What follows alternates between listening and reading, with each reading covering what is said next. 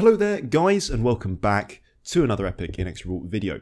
In this video we're taking a look at how we might go about differentiating arcsine of x, okay? And this is another sort of uh, problem where just like um, in a video that I did not so long ago where we are going to be looking at differentiating the um, modulus function of x, it's another one of those ones where it's like, where do I even start? Right, because I know how to differentiate x squareds, uh, you know, a constant times an x. I know how to differentiate sine x, cosine x, all of those things. But how do I differentiate arcsine x? And just to be very clear, arcsine x is the inverse function of sine x, if you're not familiar with this notation. I've written here in the notes section, arc sine x, it's the same thing as the sine to the minus 1x. The reason why I like to write it as arc sine x instead of sine to the minus 1x is that it's bad notation, in my opinion, to write sine to the minus 1x because when you raise something to the power of minus 1, that's taking the multiplicative reciprocal um, or inverse of that thing. So, uh, for instance, uh, 5 to the power of minus 1 is a fifth, right? So sine to the minus 1 should be 1 over sine. But it's not. It's the inverse function. So I prefer to write arcsine. It's more clear what it means. Okay, so arcsine, um, inverse sine, it's not the same thing um, as cosec, which is the which is uh, the multiplicative inverse, the reciprocal function. Okay, so that's just something to see out of the way. The only other thing that we need to know before we begin is that the, the trig identity sine squared x plus cos squared x is identical to 1 all of the time. Uh, that's the only other thing that we need to know. Um, of course, we need to know our differentiation too, but that's in terms of identities and things like that, that's it. So let's just begin. So we're looking at when y is equal to arcsine x. That's, that's what we're looking for. And we want to find dy dx, right? So we don't know how to differentiate arcsine x. We can't just differentiate it because if we if we knew how to do that, then the video would be over. So we're going to say we don't know how to differentiate arcsine x, and, and maybe we don't. But what do we know how to differentiate that's kind of similar to arcsine x in a way? Well, let me just throw this out there. We know how to differentiate sine x, don't we? And arcsine x is in a way, you know, it's kind of similar to sine x, you know, they're inverse functions. So what we can do is we can actually apply the sine function to the left and the right hand side of this equation. So we can say that sine of y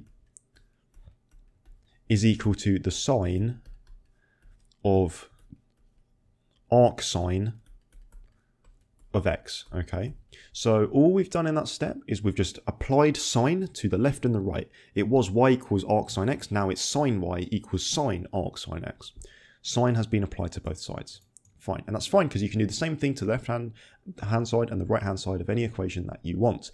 So you can apply the sine function to both sides, that's absolutely fine. Now, why do we do that? Isn't that more complicated? No, no not really.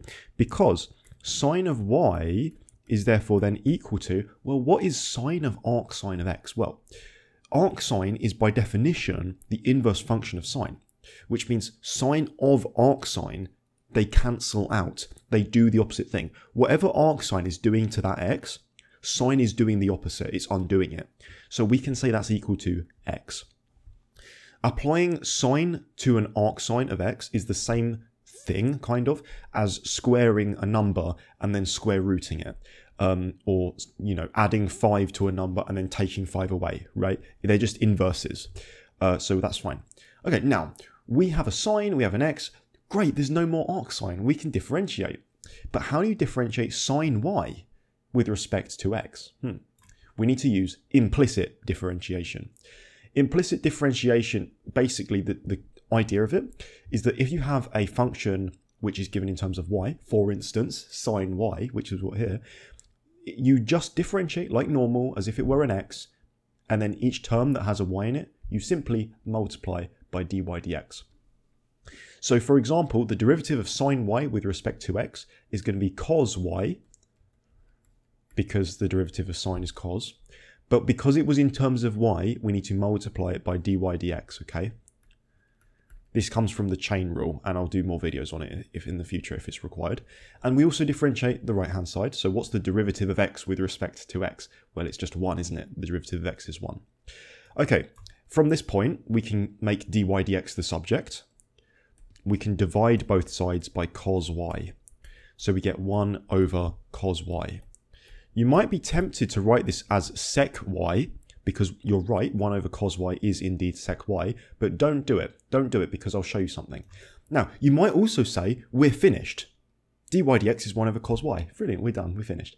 Technically, you're not wrong, but it's ugly because we don't want the right hand side to be in terms of y. We want it to be in terms of x. We want dy dx equals some function of x, don't we? We don't want a function of y. That's disgusting and gross. So we want to turn the right hand side into a function of x. Now, we can actually do something really clever, and this is where the sine squared plus cos squared is identical to 1 comes in. So let's just kind of uh, come over here for a second, and you know, I'll do this in a different color for everyone. Let's do it. Uh, let's do it in.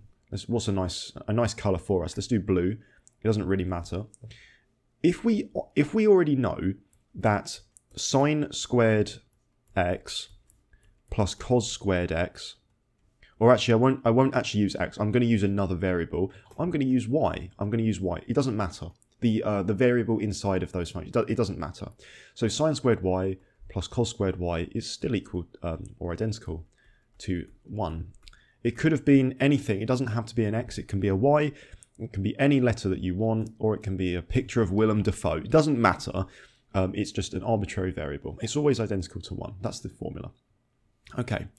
Um, how do we deal with this now? What are we looking for? Well, I'm going to show you something. If we can rewrite this cos y, you probably can't see actually, my, my fat head is going to be in the way. Here it is. If we can rewrite this cos y in terms of sines, then we can do something really clever. And I'll show you what it is in a second. So, how do we how do we rewrite cos y in terms of sine? We can use this formula. So, what we do is we make cos y the subject in this formula. So let's take sine squared y away from both sides. We then get cos squared y is identical to 1 minus sine squared y. I hope we're happy with that step. Good, good. And now we simply take the square root of both sides because at the moment we've got cos y squared. We don't want cos y squared, we want cos y. So we undo the squared by square rooting. We get cos y is identical to the square root of 1 minus sine squared y. Okay, we're taking the square root of both sides there. Now we can rewrite cos y as the square root of 1 minus sine squared y. They are the same thing, okay? And again, it doesn't always, it doesn't have to be y, it could be anything. So it's the same with x. Cos of x is identical to 1 minus sine squared x. It's just a fact, it's just true.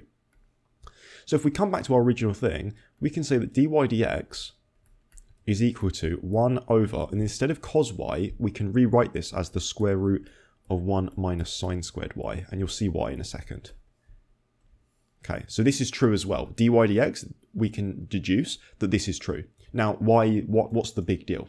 Well, do you remember at the beginning of this problem, we actually said what y was? y is arc sine x. That's what we started with. We're trying to differentiate y. We know what y is it's arc sine x, right? So if we know that y equals arc sine x or sine to the minus 1x, however you'd like to write it, we can then say that dy dx is equal to 1 over the square root of 1 minus sine squared of y, which is arc sine x. And you'll see why this is brilliant in a, in a second. So, Okay, it looks very gross at the moment, but it's fine. Now, when we write like sine squared x, what we really mean is sine x squared. The reason why we do it is just because it prevents us from having to write another set of brackets around the same thing. So if it makes it easier, sine squared x, we're not doing, we're not cheating, we're not doing anything mathematical. I'm just going to rewrite the same thing um, slightly differently. Sine squared of arc sine x means sine of arc sine of x and then squared. Okay, that's that's what it means. That's what it means. Which then means what we can do is we can say dy dx equals 1 over the square root of 1 minus, okay, and now let's evaluate this thing. Again, what is sine of arc sine of x? Whatever arc sine is doing to x, whatever it's doing, sine is undoing it, and it's bringing us back to x because they're inverse functions. So sine of arc sine of x is just x. But we then need to square it because there is a squared there. It's sine squared of arc sine x. That's x, sine of arc sine of x is x, and then squared. So sine arc sine x squared just turns into x squared, okay? Just like that. And we are done. So, very interestingly, the derivative of arc sine x, or the inverse function of sine x, is actually simply equal to 1 over the square root of 1 minus x squared. Um, this is an interesting result because you might, you know, when you differentiate sine, you get cos, right? When you differentiate cos, you get minus sine. And you can do this with lots and lots of trig functions, right? What happens when you differentiate trig functions or integrate them as well it tends to be that you get something else trigonometric. You you know, sine turns into cos, cos turns into a sine, or something like that. But when you try to differentiate or integrate inverse trig functions, you actually get these algebraic expressions, like 1 over the square root of 1 minus x squared. Where is the trigonometry in that? It's, it seems like it's nowhere to be found, right? And so that's why I actually find this so fascinating. It's almost as though the trigonometry has disappeared when we differentiate it, and we get that. So that's our result, guys. The derivative of arc sine is, of x is 1 over the square root of 1 minus x squared. Let me know if you'd like to see more videos on differentiating weird and wonderful functions. Um, and uh, if you do, yeah, definitely leave that in the comments below. Give this video a like, do whatever you want to do. Thanks so much for watching, and I'll see you in the next video. Cheers.